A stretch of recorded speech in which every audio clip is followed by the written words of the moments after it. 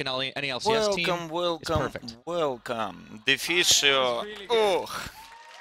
Американец, кстати говоря, американец действительно приехал, они сейчас про это как раз поговорили. Но у нас, ребят, стартует э, сегодняшний тяжелый день. Почему я его называю тяжелым? Потому что сначала была у нас Корея, я ее не комментировал, слава богу. Довольно скучные там были игры. Э, Если кому-то интересен результат, и вы сами хотите посмотреть эти игры на английском языке, тогда в записи сейчас вы наверняка находитесь. Звук выключите. ну и те, кто тоже смотрит сейчас в прямом эфире, тоже звук выключите. Я результаты объявлю. Что ж там произошло? Произошло вот что. Команда Samsung, ну, которая KSV шники, проиграли 0-2 команде KDM, аутсайдерам Корейской лиги. И аутсайдеры Корейской лиги с 0-3 стали 1-3. Ну и, соответственно, KSV шники стали 3-1. И также у нас Afreeca Freecs одержали победу над ROX ами. Ну, здесь скорее это равная была встреча. Но удивительно, что счет был 2-0. В общем-то, такие дела. Ну а теперь давайте перейдем уже к непосредственно самой игре Giants против H2K. Старт сегодняшнего дня у нас европейский с этой игры. Giants вчера очень интересно и красиво отыграли. Мне совершенно, конечно же, понравился их агрессивный стиль игры против команды G2, где они доминировали э, не на линии, а именно в мидгейме, где они начинали вылавливать каждый заход команды G2 в чужой лес и давали битву раз за разом. В итоге Бетси у нас превратился в эпик монстра в том матче и определенно получил MVP. Помните, он играл на Вейгаре, и команда G2 явно не была готова к такому пику. Сегодня же у нас 5 будет игр европейских, потом будет 5 американских игр. Между ними, скорее всего, будет там перерыв минут 40, ну, как обычно. Хотя в прошлой неделе а, перерыва не было никакого, потому что игры европейцев слишком затянулись. Каждый матч был более 45 минут, но это было ужасно. They really hate Smitty J. They really hate Smitty J. They do not want to let him play a lot of fun League of Legends. Now, Sejuani's also banned by H2K's side, so no first pickable. Therefore, the Giants now А Муму, да не будет он взят, это просто нам показывают его грустного чемпиона, который когда-то получил свой реворк, у которого появилась пассивка, потерялась пассивка дополнительного магического урона, но появилась пассивка дополнительного труда мага от ваших союзников по тем целям, которых ты заплакиваешь, так сказать, на которых ты плачешь, накидываешь на них дебафы, и следующая автоатака будет наносить тру урон. Я честно ожидал, что на ЛЦС мы как минимум Мамуму увидим хоть раз с тех пор, но честно мы так и не увидели. Ой, я не понимаю, почему его полностью игнорируют все команды. Дело в том, что в soloQ понятно, почему это происходит. Ему тяжело фармиться не то чтобы в лесу, ему тяжело вот эти вот 6 э, левелов пройти, не попав под джанглера оппонентов и не получив какой-то помощи от своих союзников. Но здесь-то LCS, ЛЦС, ЛЦК не имеет значения, какая лига, но так или иначе это просто сцена чужой лесник не будет заходить и гнобить этого лесника, потому что вы просто выберете такой сетап, где сможете помочь Амуму. А дальше будете пользоваться его преимуществом. Джарван у нас вместе с Брамом был взят командой H2K. Сами э, Giants сейчас нам показывали Олафа, которого так и не взяли, но взяли зато не себе как Мава. И, скорее всего, сейчас постараются забрать себе Жанночку, пока ее не забанили. Потому что если они не заберут Жанну, будет похуже ситуация. Правда, они решили тупо пойти в late game. Мол, плевать, какого у нас будет саппорт. И выберемся за счет мы джанглера, если что. Тяжелый сейчас момент для команды H2K. Они уже видят гипер late game от команды Giants, и чтобы они сейчас не взяли, они не смогут победить этот гипер late game. Им нужно сейчас брать чемпионов, которые победят их в начале, и смогут раздавить, не дав дойти Когмаву и Азиру до лейта. Надо думать вот об этих чемпионах, ну да, вот. Такой вариант мне нравится, как контрпик на топ, потом жесткий контрпик на мид. Жесткий контрпик на bot lane и пытаться, пытаться, пытаться. Это, походу, ребят, будет у нас 35 минут сетап против команды Giants ов, 35 минут сетап команды H2K, конечно же, имею. Ибо, если они сейчас бы попытались H2K сыграть тоже в лейтгейм, ну, мол, в ответ мы возьмем Райза, на вашего Кагмава мы возьмем себе Варуса, ну и толку от этого, 60% будет все равно за Джайнтсами. А если вы еще и лейнинг фазу, лейнинг фазу проиграете? Хороший бан от Бетти. Знает он, что вчера он вытворял на Вейгаре против Азира и решил заранее избавиться от этого чемпиона. Райс, да, все еще открыт, но я не думаю, что Райс это то, что будет делать команда H2K. Я бы забанил Мальзахара, потому что это как раз медгеймовый чемпион, который может подтащить. Ну и Giants пока ничего еще не банят. Скарнер у нас забанен был командой H2K. Скарнер, Азир, мне очень нравится комбинация. Одна из лучших, которую вот показали нам вчера. А, она не сыграла ни разу, но сегодня еще и корейцы ее показывали. Это означает, что корейцы тоже смотрят свои матчи. А, кстати, Галио, да, тоже очень сильный мидгеймовый чемпион. От него тоже можно было избавиться. Ну так вот, Скарнер, Азир сегодня тоже корейцы играли. Идея заключается в том, чтобы ты под Скарнером притягиваешь э, врага поближе к Азиру, и все вынуждены защищать этого союзника, но защитить очень тяжело его, потому что вы все попадаете под Азира ульту, под Азира солдаты, там будет больно. Ну, либо вы просто отдаете этого игрока, которого цапал уже э, Скарнер. Скарнер это лесной Мальзахар в этом роде.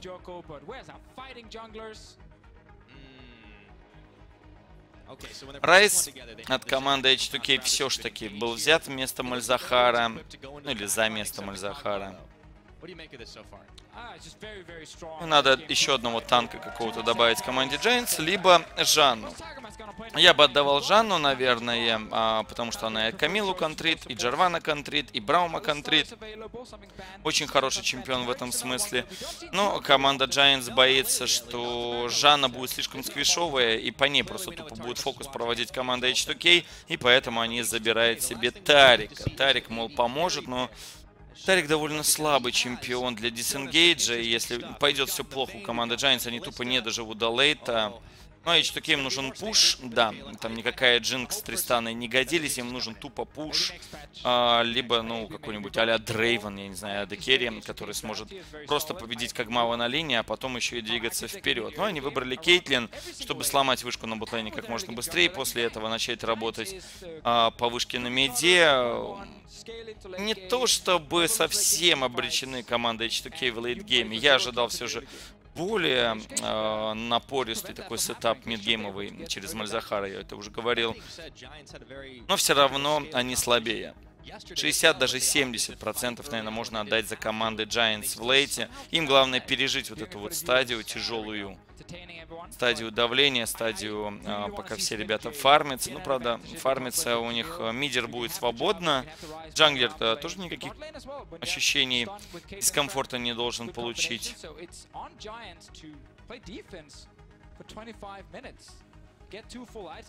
Что-то долго у нас Тренера уходят расслабленные такие. Довольные оба, знаете. Каждый из них напикал, но где-то в глубине души каждый из них понимает, что есть от ответочки у оппонента. И джайнцы понимают, что тяжелая будет линия на боте, тяжелая линия будет на топе, а если еще и ганг пройдет, вообще проблема. И H2K понимают, что если они не смогут ничего этого добиться, того, что я сказал, то в лейте им делать нечего. Давайте по статистике немного пройдем. А, команда H2K у нас в этом турнире одержала пока одну победу и два поражения. Команда Giants же одержала две победы и одно поражение от Виталиков. Виталики, в свою очередь, уже сыграли с обеими этими командами.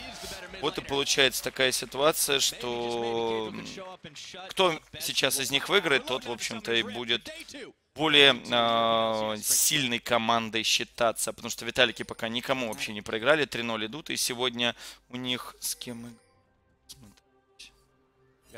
А, сегодня они с мисфитами играют. Это будет интересно.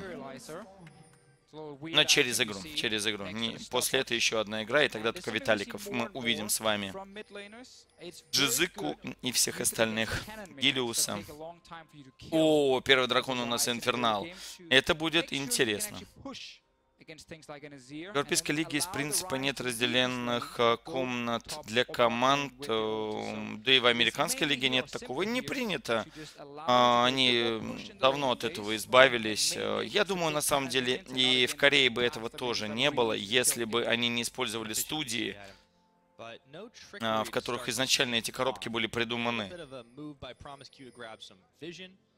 Понимаешь, а, там риуты же снимают студии, а не на своих проводят это. Как раз вот там вот те же самые а, КСеры, те самые дотеры, они играют. Более крикливые ребята. Ну, еще это связано с тем, что а, стратегии обсуждаются в открытую. Там-то нет такого запрещения, а, запрета, точнее, в разговорах э, между командами. Они разговаривают между собой и во время пауз, и во время смерти. э, То есть могут обсуждать все, что хотят. Ну, это касается, например, CSGO. У нас же здесь немножко по-другому. Когда пауза нажимается, игроки не должны разговаривать, поэтому лишней никакой информации они не вбрасывают. Ну и вообще менее эмоциональны в этом смысле игроки и меньше будут отвлекать соперника. Хотя мы видели много раз, как и наушники выбрасывались игроками после победы. Так что первый ганг у нас идет от Санторина. Сразу же Бетик, Бетик ловит, подкидывает это минус Бетти. Easy peasy first blood. А, не, ну, оригинальное время ганга. Сложно было от этого ганга реально увернуться. Единственное, что мог сделать себе а, Бетси, это заранее поставить тринкет, но его не загангали сразу с синего бафа. То есть, смотрите, как было. Джейнсы знали, что с синего бафа стартует Санторин. Санторин тут же побежал на красный баф, после этого сделал ганг. Ганг произошел в 2.20. Если синего бафа организовывает ганг оппонент к тебе, то он это будет делать э, именно с синей стороны леса. А, ну, твоя сторона это будет красный лес, а их будет сторона синяя. В общем, с нижней стороны. Соответственно, Бетти к этой стороне и прижался, ну, к другой имеется в виду, к противоположной, чтобы его нельзя было загангать. Но очень хороший маршрут провел себе Санторин. Неожиданный ганг. Солоку такое не прокатит, могу сразу вам сказать, потому что здесь было все продумано идеально. И увернуться от него можно было только при помощи варда, причем варда поставленного более а, раньше, то есть где-то в 2.10 должен был а, поставить у нас Бетси вард на прикрытие себя, но этот вард тогда пропадет в 3.10, и если Сантурин организует стандартный ган, который происходит обычно в 3.10, 3.20, то у тебя уже не будет варда. Вейгар, да, был забанен. а, Кайдриэль мог его взять. а, Бетси взял Азира. И потом команда Джайнсов забанили во второй стадии банов пиков а, Вейгара. Но могли успеть а, H2K себе его выбрать. Put your alarm on like 45 minutes later, wake up, watch the ending, and it's epic. Тем временем у нас на бутлейне просто стояние идет. Надо посмотреть, сколько уже ударов по вышке нанесел шериф вместе с Промискью, потому что их задача как раз это сломать вышку как можно быстрее. Ну а Джайнсам надо просто обороняться, ожидать. э, Смерть на меде, она не такая страшная, тем более, что Самунер Спеллов не потерял при этом Бетти, следовательно, последующие ганги э, Санторина не будут такими уж эффективными. Первая пара игра, да, самая первая игра. Впереди у нас еще после этой игры 9 матчей. Будем надеяться, что мы не сильно устанем. Поставлен был пинквард Кайдриэлем, как раз с той же стороны сейчас находится Санторин, и Санторин собирается а, пока просто варды расставлять. Зашел он в чужой лес, расставил варды, проверил синий баф, ничего не нашел. Волки там есть, он это знает, тем более он видит, где находится сейчас Зак. Пойдет волков забирать, вышку, видите, почти не побили на bot lane е у нас команда H2K, но зато уже надамажили вражинов. Санторина есть smite? Да, есть smite, он через smite забирает, впрыгивает Джоко и через smite забирает Санторин. Себе этот стак и еще даже забирает Волчонка. А расстроился, конечно, Джоко, что его здесь обокрали. Ну, это за счет хорошего варда было сделано. Правда, сейчас в ответ Джоко очень много пинк-вардов может здесь забрать. Пока он, правда, боится туда смещаться, потому что Райз придет быстрее, чем Азир. Чей пик тебе нравится больше? Мне, честно, у обеих команд не нравятся пики. Late game очень сильный у команды Giants. Про это я говорил 70%, что они выиграют в лейте. Но у H2K мне не нравится, что если уж вы берете Камилу, как мне кажется, то надо под Камилу и было брать э, каких-нибудь убийц еще. Пинг. Анторин знает, где он стоит. Да, пойдет вы.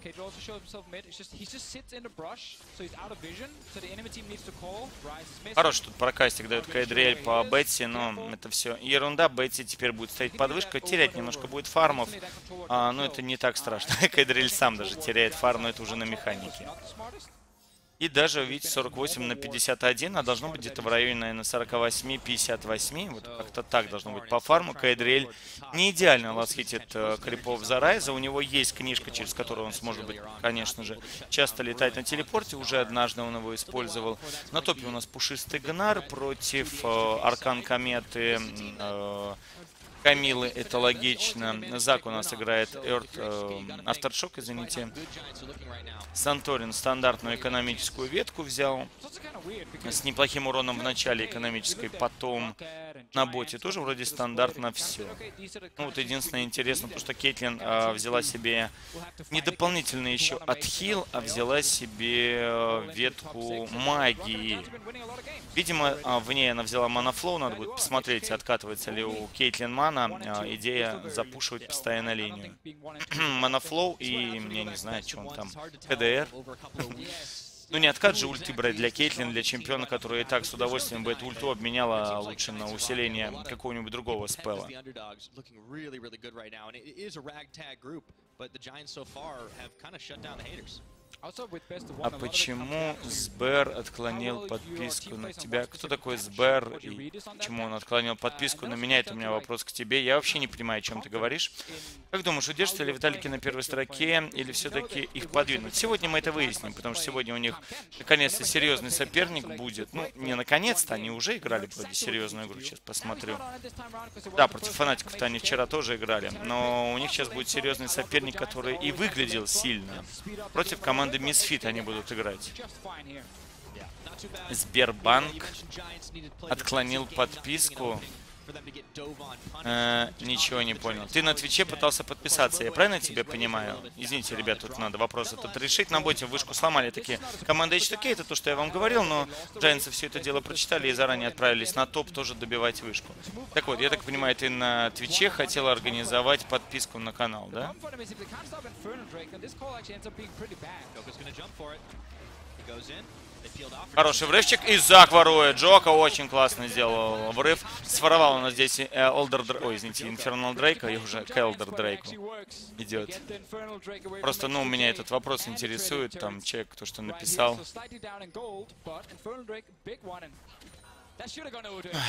Looked like Santorin smited a little bit earlier. Gonna have to take that one, uh, Я не понимаю, что он хочет. Ладно, все, не обращая внимания на чатик. э, Парень сам не понимает, что он пишет. Поэтому бесполезно с ним общаться. Когда человек не может э, понять даже, что он делает. так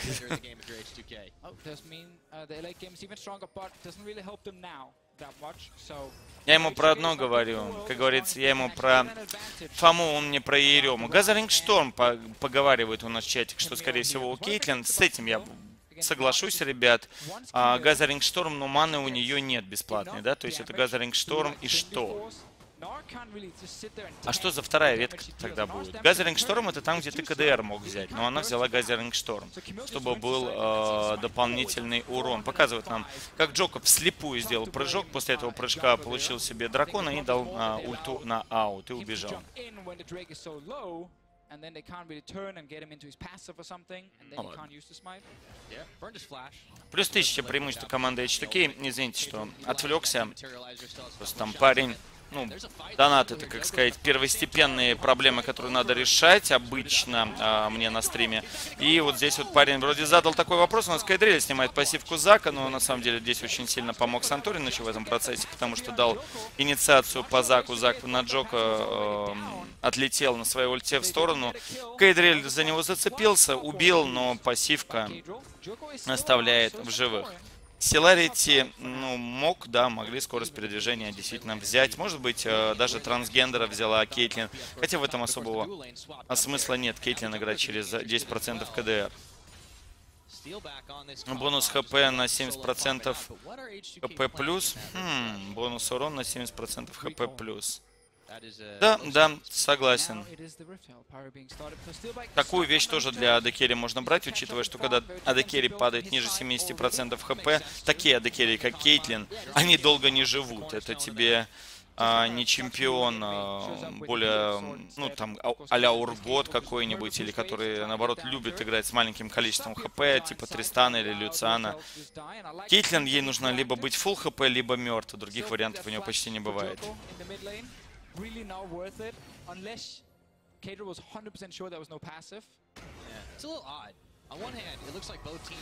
Ноль ну, один счет.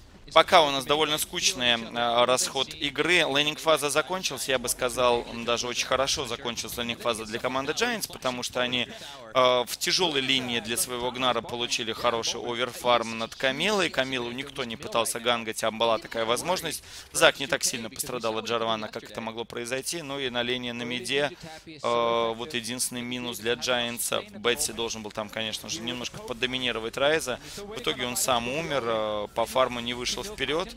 Но это все ерунда. Late все равно за ними, поэтому они сейчас могут отсиживаться. Тем более, когда они получили Infernal Drake а себе в карман бесплатно в такой стадии игры. А сами команды H2K, конечно же, сейчас пойдут на топ, будут пытаться top lane вышкой, э, с top lane вышкой позабавиться так же, как они позабавились с ботлейновской. Тяжело будет по-прежнему Когмау как-то это все дело отбивать, он тем более более танковый build даже пошел, чем я ожидал. Гляньте, у него. Нинджа-тапки с выходом... Э, только вот сейчас первые предметы на атаку, причем на скорость атаки, даже не на урон. Смити Джей подпушил, дальше надо уходить.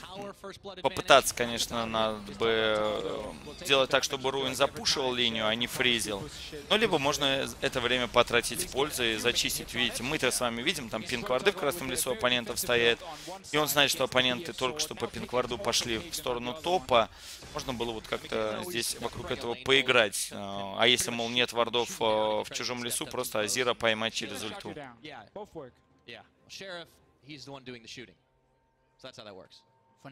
О чем речь, какая фэнтези-лига? Есть фэнтези-лига у риутов, конкурс специальный, где могут пользователи соревноваться друг с другом, и у нас есть соревнования между тремя, э, ну точнее не между тремя, а в трех лигах идет соревнование, во всех э, трех лигах.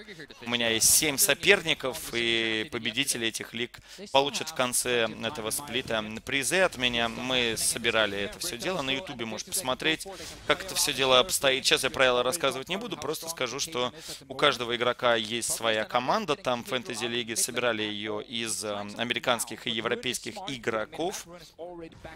И получается так, что вы теоретически можете болеть не за конкретно какую-то команду, хотя за команды тоже можно болеть, а именно за конкретных э, игроков, чтобы они не умирали. Сметти Джей э, пытается поймать... Что? Вообще-то я тоже был абсолютно уверен, что это был фрикил. И знаете, что мне даже показалось, ребят, что команда H2K не определилась, кто будет забирать этот килл себе. А на секунду Кайдрель перестал кидать спеллы в него. Может быть, просто КД у него спеллов получилось. Смити Джей вообще W дал мимо. Э, выглядело, как будто оба игрока такие, забирай ты килл, да нет, ты забирай. Ты его заслужил, ты прилетел на своей ульте, ну ты же, Камила, тебе надо в мидгейме тащить сейчас игру. Ой, да ладно, ну давай ты заберешь, ну ладно, ладно. Ой, он убежал. Так они и не определились, кто будет убивать Гнара. В итоге Гнар сбежал, ну а может это мне только кажется, и на самом деле просто не было возможности забрать его, но это как-то странно. Да, там э, Фэнтези Лига, она идет по по методике фэнтези-лиги НХЛ, фэнтези-лиги того же там, не знаю, НБА, где мы как менеджеры набираем себе игроков э, и следим дальше за их карьерой. А карьера их а, идет в лайф-режиме, вот как вот сейчас происходит. Вот если ты, допустим, взял а, себе Бетси в команду, если бы сейчас игра резко закончилась в пользу, например, команды H2K, Бетси бы получил минус очки, потому что он только умер, э, фармился он вроде неплохо, но он только умер, и его команда а проиграла. А вот если например, Санторина бы ты поставил, ну, взял бы Санторина себе в команду, то получил бы плюс очки, потому что Санторин сделал килл, и его команда, мол, победила. Но это я так сейчас фантазирую. Пока еще эти такие никуда не победили и вообще идут к поражению потихонечку.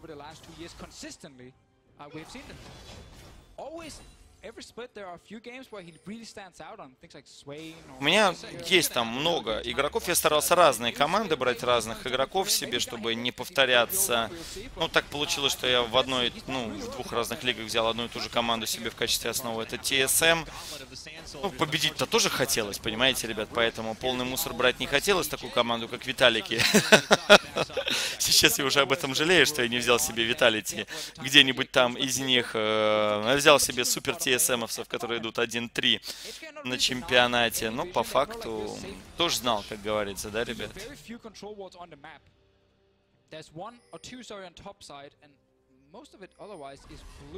Тоже контракт, как у э, релеза. Какого релеза? Сегодня какой-то странный у меня чатик, они задают какие-то вопросы, о которых я не то, что, знаете, это как, эм, какой-нибудь э, школьник, э, там, второго, пятого класса я себя ощущаю, и ты приходишь на, там, даже не три геометрию, а просто геометрию, урок, а ты школьник, ты только недавно выучил, что такое деление, э, там, не знаю, при помощи дроби и столбика, вот деление такое, только выучил, тебя научили, и ты приходишь на задание вот по простой геометрии, и тебя там спрашивают, э, синус 90 градусов сколько будет, э, равнобедренный треугольник, давай формулу какую-нибудь расскажи. И ты такой, «А, а, чего? А, о чем речь, я, я не понимаю. А потом тебе задают вопрос, ну ты, ты же понимаешь, что ты должен был дать правильный ответ на этот вопрос. Что, как? Ребят, вы если хотите задать какой-то вопрос по поводу стриминга или чего-то такого, можно написать в личку. У меня есть группа ВКонтакте, а в ней можно оставить заявку. В друзья я всех добавляю там в друзей. И в ней написать вопрос какой-то конкретный. Я стараюсь всем отвечать зрителям. А если вы хотите задать какой-то экспресс-вопрос прямо на стриме, то желательно, чтобы он касался игры, той, которая сейчас идет, либо сезона, который мы э, там сейчас комментим, ну чего-то такого, на что можно будет резко ответить.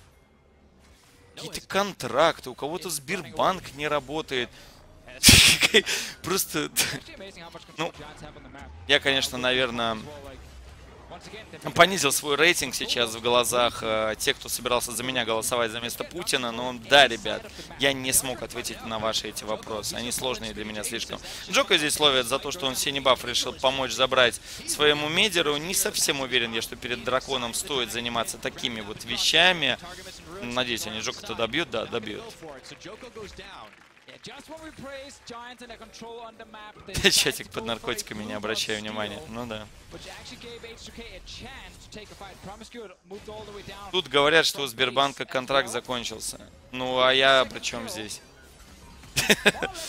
С кем закончился? С Твичом закончился у Сбербанка контракт? Так пишите в Сбербанк и спрашивайте, какого хрена вы не можете донатить на Твич деньги через Сбербанк? Я не удивлюсь, что это вообще какая-нибудь санкция, о которой завтра будут новости написаны, что все платы э, онлайн Сбербанк отменяет э, в качестве э, ответной санкции против, не знаю, Олимпийского комитета МОК. Вы же знаете, что сейчас каждая жопа пытается выкрутиться вокруг этих новостей хайповых. Кто твой любимый герой в игре? Лиги Легенд, мой любимый герой Элиза. Targamas is not here just yet. So it's a fairly easy collapse from H2K, and I think Giants expected H2K to have reset and gone back to base with at least multiple members. Да, Виви не проконтролировал Сбербанк, черт. Посоветуй, плиз, на... начал мейнить панта, постигал дзен, и тут, и тут, и тут, короче, слишком много сообщений прошло, я не успел дочитать твое сообщение. Но могу предположить, что дзен ты не смог постигнуть. А, могу сказать только одно. Мы, помните, мы с вами говорили по поводу а, статистики э, ну, точнее, не статистики, а чемпион капа, я так называл, скилл кап это называется. Э, И я сравнил, у Пантеона действительно после 10-15 игр ты достигаешь постоянного уже инь и яня, постоянного дзена, и ты играешь так же хорошо, как человек, который сыграет на Пантеоне 80 игр, я не шучу. То есть люди, сыгравшие 15 игр на Пантеоне, отличаются по винрейту. В этот раз мы увидим все же смерть, да, Руина, увидели. Ну так вот, а, по, про Пантеона доделаю информацию. А, Вы после 15 игр начинаете играть уже точно так же, как и люди, которые 80 игр сыграют на Пантеоне. Там винрейты у них будут, ну, на единички какие-то, десятые. единички а, выше. То есть 53 с половиной у вас, у них будет там 53 и 7, не больше. А, так что пантеон довольно легкий для изучения, довольно легкий для начинающих игроков. А вот как раз мы другого какого-то чемпиона обсуждали с вами. По-моему, Зоя это была, либо Райси, вот я не помню. А вы еще спрашивали, сложная ли она. И я сказал, что это будет сложный чемпион. Это действительно правда. В течение почти 50 игр win rate растет за этого чемпиона. Ну и где-то вот на 50 игре вы достигаете дзена за него и уже играете так же, как и те люди, которые сыграли 80 с плюсом игр. Как увеличить урон, играя за Зака? А, он не занимается увеличением урона. Ты хочешь именно э, за Зака убивать людей? Ну, можешь попытаться Full Ability Power поиграть. Это ради фана сработает. В мидгейме у тебя будет тонна урона, но потом не забывай, тебе придется все же начинать собирать танковость. А так, э, предмет э, собирай с магическим уроном. После этого уходи в маску, после этого уходи в Рабадон с Жоней какой став, это все предметы, которые помогут тебе ваншотать людей своими прыжками. Но, опять же, если ты не сможешь никого ваншотать, ты просто разлетишься за секунду там. А на Лисине, ну, я предлагал вам посмотреть это на сайте League of Graphs, либо op.gg, там и там это есть. Я Лисина не сравнивал, но могу сделать предположение, что после 15 игр э, люди за Лисина играют так же хорошо, как и люди, которые 80 игр. То есть он 15-20. Он чуть-чуть сложнее получается по входу, именно входу, капу вот этому. Винрейта чуть-чуть сложнее, чем Pentium. Кто-то скажет, ну как это так? Ведь там же флешкик, там же вообще хочу да, флешкик, только, знаете, я вам что расскажу. А, флешкик иногда даже ничего не дает То есть это а, такая фишка, флешкик, флеш как у Нателизы, которая иногда вообще ничего не дает. Ну, серьезно, это настолько мизерно влияет на игру, то, что ты умеешь это делать или не умеешь это делать. Мы можем проверить в перерыве. Ну, я, точнее, сам проверю в перерыве. Мордекайзер совсем мертвый, но у Мордекайзера есть возможность играть через драконов. Обычно его на ЛЦС, если играет, то ближе к джанглеру, либо адекере роли. А, так как его не играют на про-сцене почти сейчас уже, то получается, что и люди, которые в солоку, они его тоже забыли. Хотя я одну игру играл против Мордекайзера, это просто была жесть. Как же больно стоять против него на топе. Скучноватая у нас игра, на самом деле, а, вы видите, одни не могут, другие не хотят, именно вот та самая тема получается, не могут команда H2K, они вот смогли сломать две вышки снизу, не могут все еще продавить вышку на меде, не смогли сделать себе ревгеральтку, но смогли себе второго дракона урвать такие. 3-2 всего лишь они добились счета, этого всего недостаточно, чтобы победить Азира и Кагмава в лейтгейме, Азир уже добрался до войдстафа, и единственная сейчас проблема у команды Giants это Руин, который пока все еще страдает от Смити Джея. Почему я говорю пока? Ну, потому что скоро он а, начнет собирать себе флат армор предметы, и тупо у Смити Джея не будет хватать урона, чтобы его убить. Да, он будет его сильней. Да, если их э, закинуть в узкое пространство и сказать «сражайтесь», э, и вы не имеете права, мол, убегать, проиграет Гнар. Но Гнар не будет умирать, он просто будет стоять и дальше отпушивать этот вейв. За Тауэр давить Смити Джей не сможет. Более того, Смити Джей сейчас могут поймать. Туда идет он, тут же телепортация от Кайдриэля. Смити Джей выигрывает кучу времени. Будет ли он э, продолжать сражаться или попытается убежать? Попытался убежать, но у него это не выходит. Роин зарабатывает килл, и Кайдриэль решает отпустить Джайнсы. Вот и наказали Смити Джея ребят.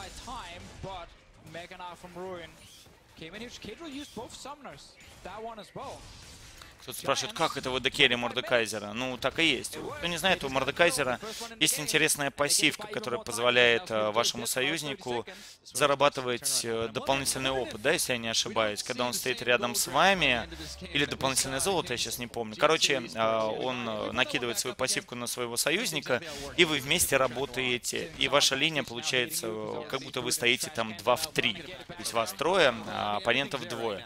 В размен они не могут идти против вас, потому что вы тупо будете сильнее почти всегда. И э, через зеленый голдер это работает, потому что он милишник. Э, два зеленых голдера вперед, и все. Я просто сам за Мордекайзера там, я не знаю, полторы игры сыграл за всю жизнь, поэтому мне тяжело. Морди 1000. убрали эту пассивку. Убрали на него самого, а именно пассивку для друга оставили. Раньше у него была пассивка на себя и союзника. Риуты поняли, что Мордекайзер не делает э, пассивку на союзника, ну только когда подходит к нему уже в тимфайты. А сам вот на топе или на миде стоит соло и зарабатывает дополнительный опыт, а это абуз, это нечестно. Поэтому Риуты это убрали и сделали возможность, чтобы человек мог э, давать опыт только своему союзнику. Поэтому именно вот с саппортом какого-нибудь типа Браума, там Кенча, ну, милишного монстра, очень хорошо работает.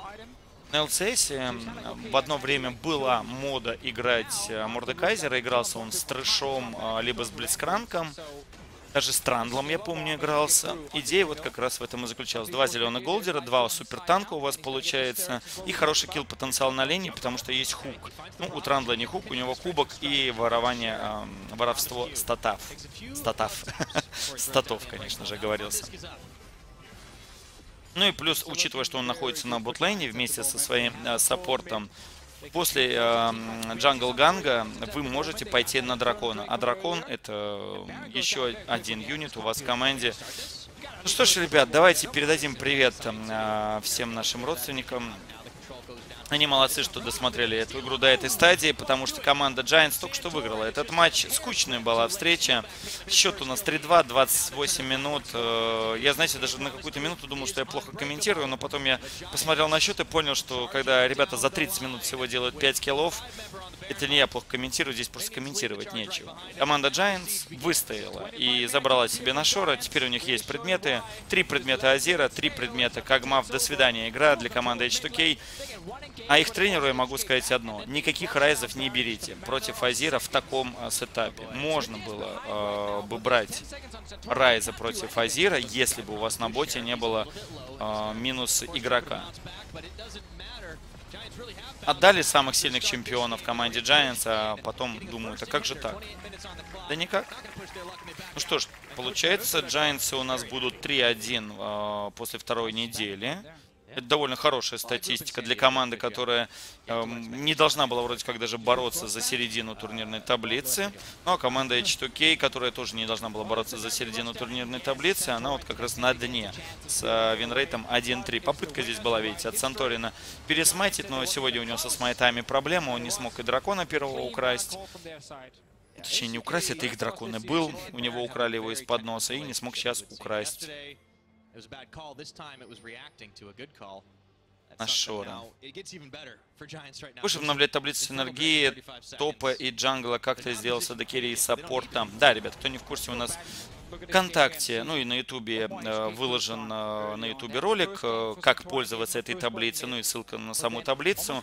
А, Таблица синергии между саппортом и AD Carry. Я проконсультировался еще у двух людей, имена их называть не буду. Они, в общем-то, оценили положительно эти таблицы. Ну, это люди не последние, так сказать, в Лиге Легенд ру про геймерство. Оценили они позитивно, только сказали, что таблица мало будет помогать, э, потому что там не учтены некоторые вещи, но это очевидно, что в ней не учтены эти многие вещи, потому что она делалась для новичков. Она не делалась для тех людей, которые на LCS играют, хотя, как можете заметить, LCS овцы тоже используют мою табличку, вот тот же самый э, Кейтлин плюс Браум, это в моей табличке написано, этот setup надо играть. И был запланен Там Кенч, э, чтобы Когмау не мог играть с Там Кенчем, это тоже там указано. Но это я так к тому, что они тоже ими пользуются, но, понятное дело, там очень много вещей не учтено. Не учтены потенциальные союзники, которые будут. Ее надо, ну, смотреть, конечно же, не, не вслепую. Но советую ей пользоваться. Ну так вот, а по поводу он топ-лейна с джанглом. Будет делаться, деньги мы на это медленно сейчас собираем общую сумму, чтобы э, начать ее делать. Это все же трудный процесс, э, но обещаю, что она тоже будет сделана. И мидеров э, с джанглингом тоже я сделаю. Сейчас я вам скину ссылку тем, кто впервые услышал об этом. 25. Ну, это скучная игра, ребят, закончилась наконец-то. Слава богу, что она закончилась раньше. А, Ведь могли еще затянуть как-то игру эту команду H2K. Вряд ли бы это дало им хоть какие-то плюсы, потому что они все равно проиграли. В лейтгейме имеется в виду. Игра должна была закончиться либо эпик быстро в пользу команды H2K, либо вот и так, как сейчас, либо еще третий вариант, эпик медленный, все равно в пользу команды Б. Giants'ов.